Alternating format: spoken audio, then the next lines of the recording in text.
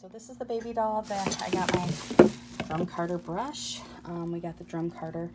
Um, this is the baby doll. It's about two ounces that I'm working with. This is all raw. This has been already, the baby doll has already been picked through. It has been washed. And so all it does need is now is need to be prepped for, um, prepped. Um, I'm going to prep it even more through the drum carder and it's going to get ready to go. It's going to get be ready to go and put in bags to sell as uh, prepped raw fleece. So I'm not spinning this one. Um, this is just going to be going through the drum carder because the baby doll fleece is a super wash. So the VM is much harder to get out, which I have noticed. Um, I love it because it's super soft. It's going to make some great sock yarn or some nice sweaters um, with this yarn. I'm going to be getting some white baby doll and mixing it with this. And then I'm also going to use some colors, um, dyed color, you know, dyed color mohair. And I'm to try to make some tweed yarn for the first time with the drum carder. So let's put some through. I don't, I'm not a professional YouTuber thing, so I don't have all the fancy setups. Um, meet my phone holder um, I have deer antlers that are holding up my phone for this. So it holds up my phone and it gives me the angle that I need. So I have my deer antler for my phone setup. So, you know, it so it goes. This is the third time run through. This is going to be so fun to spin off of.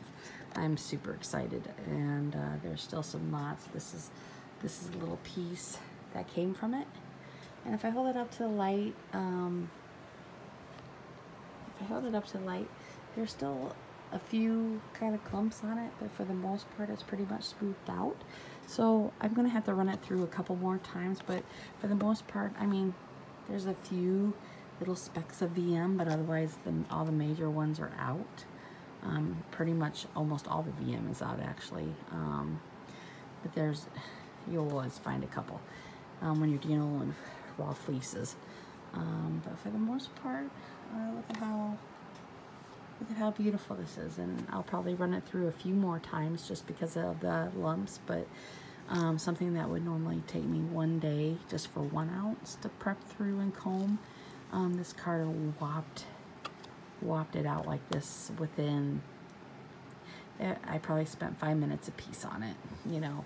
And so you're going from raw to that to something like this kind of amazing. I'm really excited to do some blending with the black Volaeus, uh, baby doll hair, and mohair. And I'm going to try to create some beautiful art yarn um, with it on the carder and try to create some um, tweed.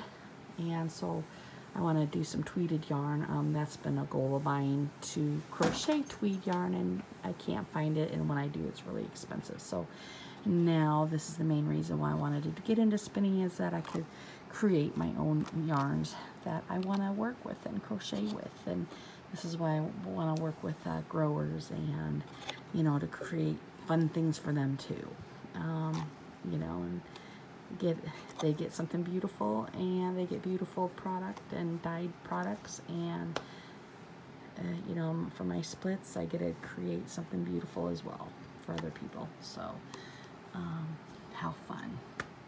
Okay, you believe that? Look at that. Raw, raw washed to carded. Totally different. All right, we'll video the next steps.